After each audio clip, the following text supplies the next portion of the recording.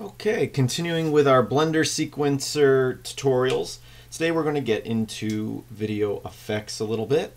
Um, there's some built right into Blender. Um, example, if I select this uh, little video clip here, I can go to add effect and I'll do glow.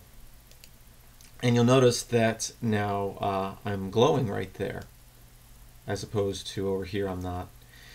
And uh, the way you can edit that effect is you right click that effect, select it, and then go down to your sequence button right here, and you'll have some options for it, such as in this case, threshold, that's the intensity. So if I turn that way up, oh, I guess if I turn it way down, it makes me brighter.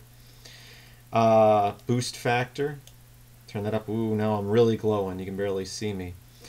Now, you do have to be careful, uh, not careful, but when you're playing with effects, some effects take a lot of the system, especially something like this, if I turn that boost way up. If I try to play the video now, the audio plays, but you see the video is playing a little slow, and that's just in the playback. If you, when you go to render it, it will obviously render it out and play fine. But just know that effects can slow down the playback during editing. Now, as I said, there's only a few built into Blender, but if you do a web search, and I'll give you a link uh, in the description to this site, this is one site that has a list of effects for the Blender sequencer. You can go through, you can read what each one does. Uh, I'm going to show you a few today.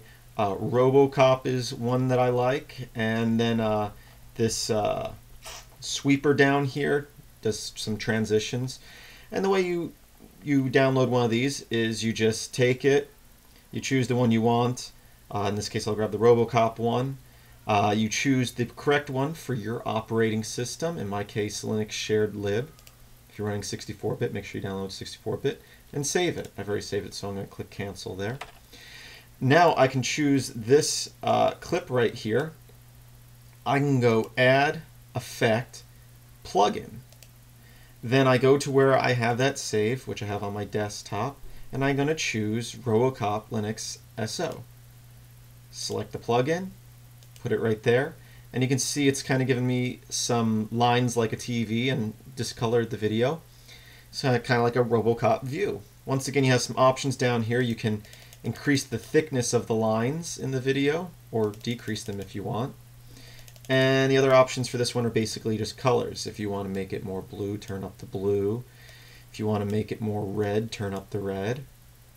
And turn the green and yellow or green and blue down.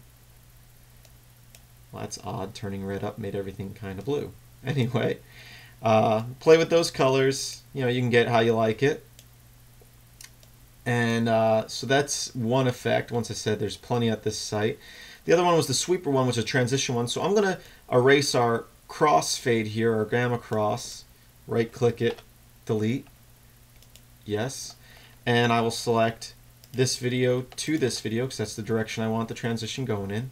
And I'm going to go add effect plugin. Go to where I have the sweeper plugin uh, downloaded to, sweeper Linux uh, uh, SO there. Select that plugin. And now you'll see as we go, it does a little, if you're watching the preview up here, it sweeps across from one video to the other.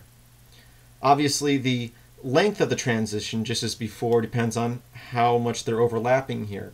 If you want the transition to be shorter, uh, select the video here, grab it, and move it down shorter. Remember, uh, we're working in NTSC, so 30 frames is one second. So you can see how many frames you go to from here, which is we are at 1202 to uh, 1297. So that's about three seconds right there, that transition. Once again, uh, if we press play, it's a little slower doing the transition because of the effect. It'll eventually catch up. You can see the video going faster there. So the transition can slow down playback. You won't get that once you render it out. Options for this, click it, obviously choose uh, sequence button. And down here you just have types. And uh, according to the description there's 19 types. I haven't gone through them all, but it's just basically where the swipe, the sweep comes in from. So here it's going from left to right. if we just click over to 2, we can go, it goes from right to left. Actually, we started at 0, so now we're on 2. It goes from bottom to top. 3 is top to bottom. 4 is an angle there from top left to bottom right. So you can see you have all these different swipe movements now that you can do in the Blender sequencer. So hopefully I'm showing you with these tutorials that Blender is a pretty powerful um, tool. It's not designed necessarily for video editing. It's obviously a 3D uh, animator, but it does let you do short clips. So if you're creating a short little cartoon, you don't need a separate video editor to edit them.